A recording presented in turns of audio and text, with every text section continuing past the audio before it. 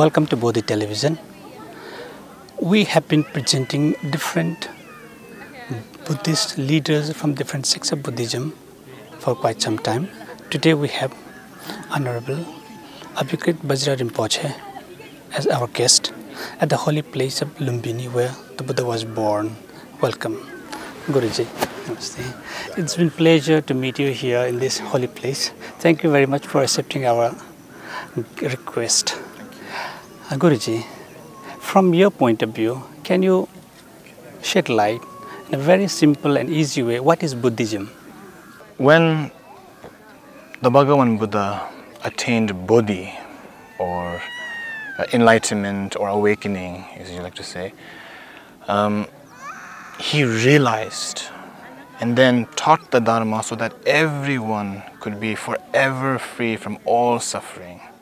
Not through some amazing predictions of the future, not some, not through, you know, praying to the Buddha as some God to change the world, not through, you know, any ideas uh, to, you know, of some invisible power that we have to believe in, but through awakening our innate wisdom and compassion, just like the Buddha did himself. So the Dharma is actually for everyone, no matter who we are, you know, whatever we are, whatever race, gender, wherever we're from, whatever our background is, we're all the same in that way. Generally speaking, the Dharma means two things the verbalized Dharma and the realized Dharma. Now, the verbalized Dharma, it basically means the teachings that the Buddha gave. In one part, it talks about you know how to, the the best way of living in the world, the moral way that allows us to live a life without the horrible feelings of guilt, stress, pain, without creating any of them for ourselves and others. In another part, it talks about how to train the mind and how to purify the negative emotions such as anger, sadness, fear, jealousy, and so on, which are not part of our true nature. All of those things, they're like, you know, they're like temporary dark clouds that hide the sun. Yes, they're like temporary dark clouds that hide the sun of our true nature underneath. And that's, see, that's what meditation is about. And another part, it talks about the nature of reality, the teachings that we study, uh, contemplate, and meditate on to gain a deeper understanding of the truth. See, this is the thing the truth is what sets us free. Seeing the truth directly, not, not, not, not just a hunch, you know, or through blind faith, or even through being smart in the regular sense, but through awakened wisdom. You know, a knowing that's beyond all stains and blocks. And then, you know, we have, uh, we have awakened the Buddha within us. We have realized the Dharma. So, the Dharma means what the Buddha taught and the truth of the way things really are, which the Buddha pointed out, um, the seeing of, of which you know, liberates us from all suffering. So, to sum it up, that's what Buddhism is. Today we have different sects in Buddhism. We all take refuge in Buddha, Dharma, and Sangha, but we have some subtle differences. Uh, among them, how do you explain the sect you are following? The Sakya tradition, yes. Um, actually, Sakya is, uh, you know, it's a, a special region in southern Tibet. Uh, Sakya means pale earth. It's called that because um, of an area of the earth uh, at the mount, you know, at the foot of Mount Ponpori uh, that stands out as lighter than the rest of the surrounding land. So there, it was predicted by famous Indian Buddhist saints that the Trikula Nath would emanate into our world. You know, the Trikula Nath, which is, you know, the means the Bodhisattva of transcendental wisdom, Manjushri, the Bodhisattva of great compassion, Avalokiteshvara, and the Bodhisattva of powerful abilities, uh, Vajrapani. So eventually, a great citadel and uh, you know a monastery was established there in Sakya by the members of the Khön dynasty. So the Khön dynasty is actually a Tibetan family of celestial origins who were instrumental in founding Buddhism in Tibet. So it's in that dynasty that the Trikulanath would emanate to preserve and promulgate um, you know, a whole range of Buddha's teachings. So the first to be recognized as such an emanation was the great Sakyapa Kunga Nyingpo. Kunga since his time, um, we call the tradition that he taught the Sakyapa. So the Khön dynasty, actually the Khön dynasty that Sachen Kunga was born into already held early tradition of teachings. But in, in addition to that, Sachen Kunga became known as the one who, you know, the one who mastered the teachings of the four great translators uh, of the later transmission um, of Buddhism in Tibet. So Sachen Kunga passed all those teachings to his sons, and then the teachings were passed down to their nephew, the great Sakya Pandita, so who was a fully ordained monk, uh, as well as his nephew uh, and his main disciple, Chogyal Pakpa. Uh, they were the masters who brought Buddhism to Mongolia. So yeah, those five great masters uh, who were emanations of the Trikulanath in the Khön dynasty are regarded as the founders of the Sakya tradition. And after their time, the Sakya tradition spread far and wide, including Nepal, you know. Mm -hmm. Yeah. So the Khön dynasty has continued uh, with you know, lamas who are lay yogis um, in order to continue the family line, as well as lamas who are monks, who are nuns, right up to the present day. And my uh, paternal grandfather, His Holiness Jigdal Dagchen Dorje Chang, um, who was the, head, the late head lama of the Phuntsok Phodrang branch of the Khön dynasty, and uh, a renowned emanation of the Trikulanath who taught Buddhism across the world, in particular the Sakya teachings. So that's. Okay, uh, in our sect, what's the role and significance of meditation? How do we take meditation? In which? In our. In the Sakya tradition. Yeah, Actually, for this, you need to go a little bit on the history, because around the 7th and 8th century, the greatest of the 84 Mahasiddhas, 84 Mahasiddhas, which means the most accomplished Buddhist saints, the greatest was Virupa.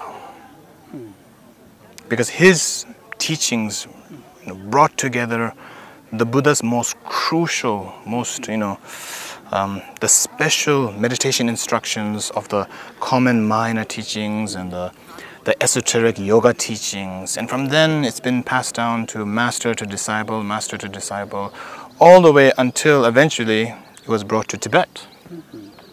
And that teaching is called the Lamdre, or uh, the path that includes the result. So this special teaching became the speciality of the Sakya tradition. It includes everything, you know, from the the Buddha's fundamental teachings on karma and rebirth, all the way up to the most sophisticated, you know, yogic methods for achieving deep transformation, but in a, you know, in a comprehensive format for effectively attaining Buddha in one lifetime. So although, you know, the Buddha gave 84,000 you know, sets of teachings um, to suit the different needs, the different inclinations of humanity. Their essence, all of it, are condensed into the Lamdre. That's why it's very, it's very special. And my grandfather, uh, His Holiness Jigdal Dagchen Dorje Chang gave this sacred teaching in Nepal twice before. So, just to say briefly on the meditation, um, the basis of the Lamdre teaching is on the three appearances we call. Uh, the first level uh, it explains about our psychology, you know, when it's stuck in uh, impure appearances, you know, the mundane mindset that is afflicted by negative emotions or karma and so on. But it presents the you know, the meditation of definitively letting go of all those blocks, all those you know, negative energy that keeps us in suffering of the wheel of existence. So, and then through that, we reach the second stage, which is uh, experiential appearance. You know, the vision of experience um, for a yogi who, you know, who is spiritually evolving through the path of wisdom and compassion. And it presents the vital key points for that process to practice.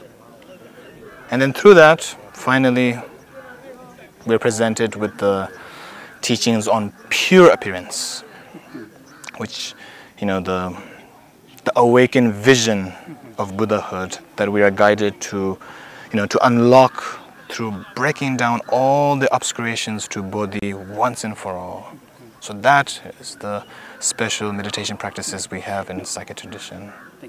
Uh, I'm interested in how uh, Sakyapa followers manage to harmonize or coordinate between rituals and meditation. Uh, you have all the sets, uh, sets of rituals every day. You have yes. to spend that much of time in uh, a kind of worship, we say. And meditation, how do you manage time for both of the practices? Actually, the rituals we do practices like this. It's all together with the meditation practices, all together. So there's no difference, there's no separate from these rituals. Apart. You mean to say uh, we are meditating while worshipping and doing rituals? It's actually very you know, funny the word worshipping. We don't actually oh, do worship, you know, because the Buddha was never our God to begin with. We're doing these practices in order to, you know, the, to arouse our feelings, to arouse our own, to awaken our Buddha within, bodhicitta. Uh, can you please uh, shed light on what ritual is it and why we do it? What is the objective of this thing? Commemoration to my late grandfather, His Holiness Dorje Chang, by a series of Dharma practices that he personally cherished. So, you know, we consider this especially meaningful because not just as a ceremonial tribute, but because the practices we're doing creates positive energy for wisdom and compassion, which are the essence of Buddhism. And that is the best tribute we can do to His Holiness Jigdal Dagchen Dorje Chang, since, you know, he was such a champion of the Buddha's mission. So over five days, we have, you know, there's so many uh, mem uh, members of the Sangha gathered here in Lumbini to recite uh, the majestic aspiration of Aryabhadra, which is the Buddha's aspiration for world peace. Also to evoke the blessings of the female Buddha, Tara Devi, for our spiritual enterprise, and also you know, to clear all our obstacles through doing what we call the Kangsu ritual, and then to meditate on the stream of blessings coming through uh, the lineage of masters through Guru Yoga. Way we can say that it is not only a tribute to a certain person or his attributes, but we are doing this also for world peace. Yes, everything. Thank you. And lastly, uh, why did you choose Lumbini for this kind of rituals? What's the significance? What's the importance of this place? Lumbini, of course, is one of the, you know, is regarded one of the four main holy sites for all Buddhists in the world. Because the Bodhisattva Gautama, who eventually became our Bhagavan Buddha, was born here in Lumbini. So we can say that the whole legend began here. Seriously, if there was a Hollywood movie, you know, about Lumbini, it would be called Buddha Origins. And not just that, actually, not only that. See, Lumbini is especially loved by the Sakya tradition because our late guru, His Eminence uh, Trichen Dorje Chang, Chogye Trichen Dorje Chang, um, who founded, he founded a monastery in this sacred place, know, presided over many large gatherings uh, over the decades for many Dharma activities that brought many people from all over Nepal over here. Uh, in fact, you know, people from all over the world here to Lumbini. His Eminence was also one of the masters who has given the Lamdre teachings in Nepal several times before. So although it's been 10 years since uh, he's you know, passed into final nirvana, but we still feel his blessings here with us, with the Buddha. So it's very inspiring for us to continue gathering here in Lumbini, this you know most beautiful and sacred site in Nepal, to put the teachings that he gave us into practice. So that's why that we chose Lumbini. Okay, how do you see the development going around here? Is it how do what kind of feeling you get when you come? Is it going on the right track, or we are doing we are missing something? When we are trying to, in the in the name of development, we are doing something what we shouldn't do around uh, this locality. I mean, mm. what do you feel? You are, you know, the very fortunate to be around this place, to be able to, you know, uh, practice and meditate on bodhicitta. The place, like I said before, the place where it, everything began. Mm -hmm. To do such, you know, practices or um, tributes to gurus, uh, to do practices to awaken our own Buddha nature and so on. It's a very fortunate thing, I feel. Okay, what do you think we, Nepal's government, should do to make it even better? What are your suggestions? Hmm? What are your suggestions to make it better? I would think it's good at least once a year to make a big Buddhist festival in honoring the Buddha and so on. Thank you very much Guruji for your time and your auspicious information about your Dharma, our Dharma and this auspicious place. Thank you very much. Today we had Honor His Holiness Honorable Abhikrit Bajar Rinpoche as our guest. He was talking with us about Buddhism, about Sakya sect, about importance of meditation and about significance of this holy place, Lumbini, where the Buddha was born. Thank you very much. Thank you for watching Bodhi Television.